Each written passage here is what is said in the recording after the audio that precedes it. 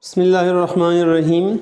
Our dear viewers and listeners, I hope you will be fine, happy, and healthy.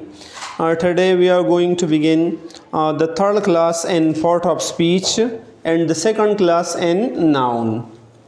And that is gender and noun.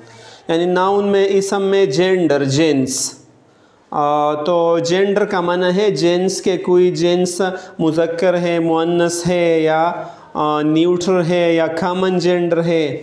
عام طور پر اردو اور پشتوں میں دو gender ہے، دو جنس ہے، وہ مذکر اور مونس خواہ جاندار چیزیں ہو یا بے جان چیزیں ہو، لیکن ہم اسے یا تو معنس بولتے ہیں یا مذکر بولتے ہیں۔ لیکن اس کے برعکس انگلش لینگویج میں پور جینڈر ہے۔ جنس چار ہے۔ اور ایک تو کامن ہے جیسے میسکیولن جینڈر اور مذکر جینس ہم اسے کہتے ہیں۔ جو میسکیولن کے لیے استعمال ہوتی ہے۔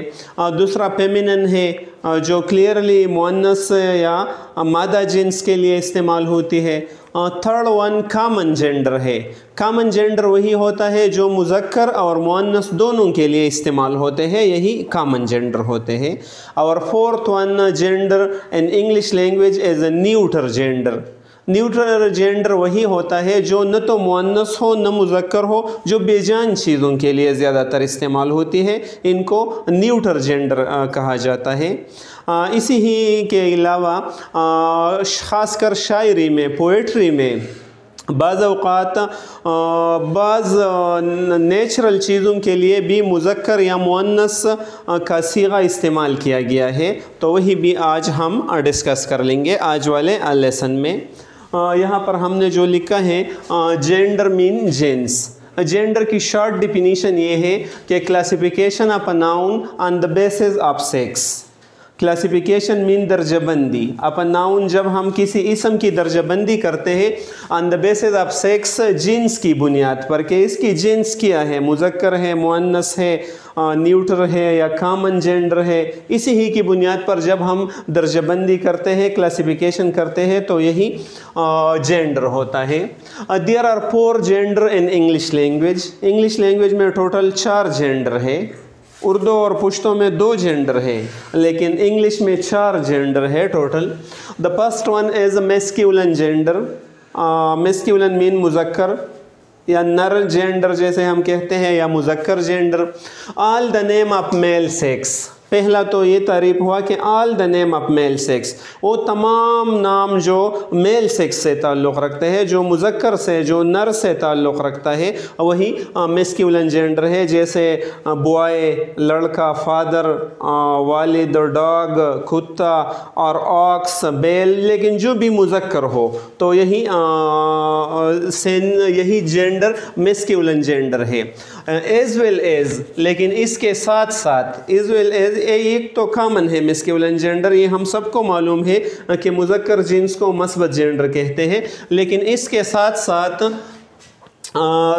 دوز آبجیکٹس ان نیچر فطرت میں وہ ہو آبجیکٹ وہ ہو، اشیاء۔ یہ خاص کر پوئٹری سے یہ تعلق رکھتا ہے۔ زیادہ تر پوئٹری اور عام سینس میں بھی استعمال ہوتے ہیں۔ یعنی فطرت میں نیچر میں وہ ہو، اشیاء which is famous for strength which is famous جو مشہور ہو فار اسٹرینتھ طاقت کے لیے، جو طاقتور چیزیں ہیں۔ ہاں، اس نیچر میں، اس فطرت میں، اس کائنات میں، اس یونیورس میں ہاں، جو طاقت وہ چیزیں جو بے جان ہے، لیکن طاقت شو کرتی ہے۔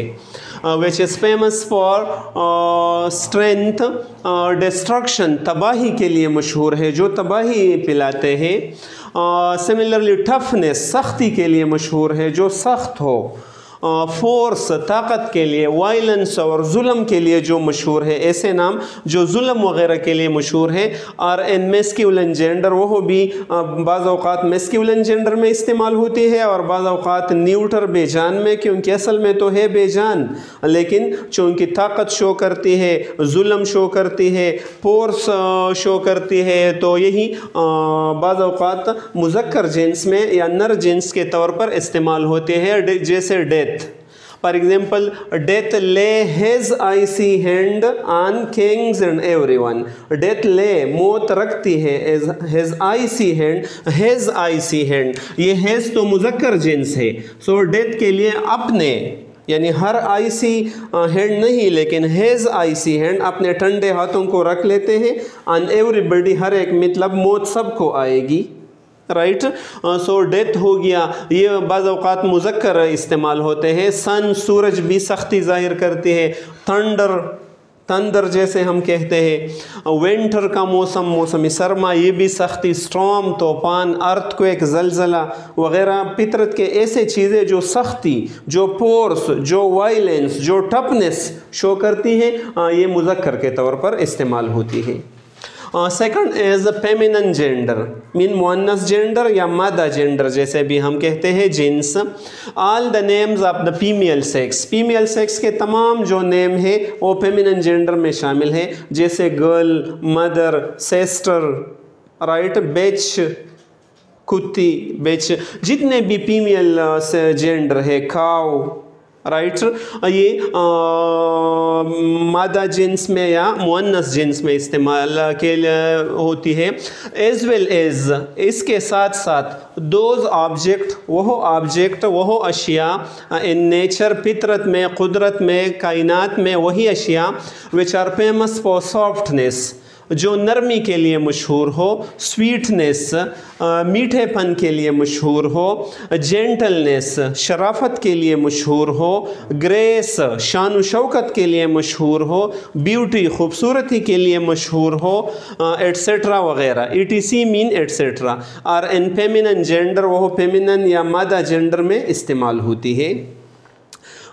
ای جی ایگزمپلی گریشیا یہ گریک ورڈ ہے exempli gratia and we will pronounce it per example we shouldn't pronounce it E G but پار مثال کے طور پر لیبرٹی آزادی لیبرٹی فیمنن جینڈر ہے ہوپ امید جسٹس انصاف مون مین چاند جیسے دا مون اسپریڈ ہر لائٹ مون نے چاند نے اپنا روشنی پلا لیا ہر بیمز آف لائٹ اپنے روشنی کے جو بیمز ہیں وہ پلا لیے، سو ہر یوز کر لیں گے۔ مون کے لیے ہیز نہیں، لیکن ہر یوز ہوتی ہے کیونکہ یہ فیمنن جینڈر کے طور پر استعمال ہوتی ہے۔ اس طرح ان تمام الفاظ کے لیے اسی طرح نیچر یہ فطرت، مرسی، رحم ارتھ زمین ایٹسیٹرا وغیرہ، یہ بھی فیمنن جینڈر کے طور پر شاعری اور بعض اوقات مصنفین بھی یہ استعمال کرتے ہیں فیمنن جینڈر کے لیے۔ جو نرمی ظاہر کرتی ہے بیوٹی ظاہر کرتی ہے جسٹس اور یہ چیزیں جو ظاہر کرتی ہے the third gender dear viewers and listener is common gender from the name it is clear common gender مشترکہ جینڈر بھی ہم کہہ سکتے ہیں، جو مذکر اور مونس دونوں کے لیے بولا جاتے ہیں uh, وہی gender so those noun which can be classified وہ اسما جن کی درجہ بندی کی جاتی ہے in both masculine and feminine دونوں مذکر اور مونس دونوں میں اس کی درجہ بندی ہوتی ہے یعنی مونس کے لیے بھی وہی نام ہوتا ہے اور مذکر کے لیے بھی وہی نام ہوتا ہے اسکال فیمی کامن جینڈر وہی کامن جینڈر ہوتے ہیں۔ For example E G man for example friend دوست۔ سو خواہ فیمیل ہو یا میل ہو، لیکن فرینڈ ہم استعمال کر سکتے ہیں۔ چائلڈ بچہ بچہ ہو یا اردو میں بچی، لیکن انگلش میں صرف چائلڈ دونوں کے لیے استعمال ہوتی ہے۔ پیرنٹس، والدین، خواہ ماں ہو، باپ ہو، اسی طرح پیوپل، شاگرد، ٹیچر، ڈاکٹر، تو وہی تمام نیم چیئر پرسن رائٹ تو وہی تمام نیم جو میل اور فیمیل دونوں کے لیے مشترکہ طور پر استعمال ہوتی ہے such gender are called common gender and the last gender in English is neuter gender neuter means neither neither مین کوئی نہیں، نہ میل ہے، نہ فیمیل ہے۔ So those noun which are neither belong to masculine nor feminine وہی اسما جو نہ تو مثبت سے اور نہ تو سوری جو نہ تو میل سے، مذکر سے اور نہ مونس سے تعلق رکھتے ہو۔ آرکارڈ نیوٹر جینڈر، وہی نیوچر نیوٹر جینڈر ہوتے ہیں۔ These are sex sexless اور ان اینیمیٹ ناؤن۔ یہ اسما سیکس لیس ہوتے ہیں۔ ان کی سیکس یا جنس نہیں ہوتی ہے۔ اور این اینیمیٹ مین بے جان غیر زیرو ہوتے ہیں۔ این اینیمیٹ ناؤن ہوتے ہیں۔ جیسے بک کتاب table marker classroom whiteboard mobile phone ceiling pen dice جو بھی عام بے جان چیزیں ہیں۔ So these are what kind of noun neuter gender. These are neuter gender. So i hope dear viewers and listener you will have understood uh, the gender in uh, English usually in the paper for the middle and high school student usually the paper comes write the gender of the following مندر جزیل کا gender لکھ لو تو جب آپ gender کا لفظ سن لے کے write the gender of the following تو اس کا مطلب یہ ہے کہ مذکر مؤنث لکھ لو اور ادھر پیپر میں یہ بھی ہوتا ہے کہ پیپر میں میکس دیا ہوتا ہے فار ایگزامپل بوائے اینڈ کھاؤ اینڈ سم ادر الفاظ بھی ہے۔ تو اکثر طلبہ یہ بھی غلطی کرتے ہیں کہ بوائے اور کھاؤ دونوں مسکیولن والے خانے میں لکھتے ہیں اور اس کے سامنے سپوز گرل اور آکس مونس والے خانے میں لکھتے ہیں۔ تو یہ ایک غلطی ہے عام طور پر طلبہ کی۔ ہمیں دیکھنی چاہیے کہ بوائے تو بوائے تو مسکیولن جینڈر کے نیچے لکھنی چاہیے اور پیمنن میں پھر گرل لکھنی چاہیے۔ لیکن کھاؤ کھاؤ تو فیمینن ہے تو وہ فیمینن میں لکھنی چاہیے اور آکس اس کے میسکیولن میں لکھنا چاہیے۔ بیکاز رائٹ دا جینڈر جب لکھا ہوتا ہے تو بعض مذکر دیے ہوتے ہیں، بعض معنس جانور یا نام دیے ہوتے ہیں۔ تو ہمیں مذکر والا خانے میں مذکر لکھنی چاہیے، نر لکھنی چاہیے اور معنس والے خانے میں مادہ یا معنس لکھنی چاہیے۔ جو کوشچن پیپر میں جو مکس ہے تو وہی سب ہمیں ایک ہی مسکیولن کے نیچے نہیں لکھنی چاہیے۔ Thank you so much for watching the video or try to share the video with your near and dear one. Thanks a lot.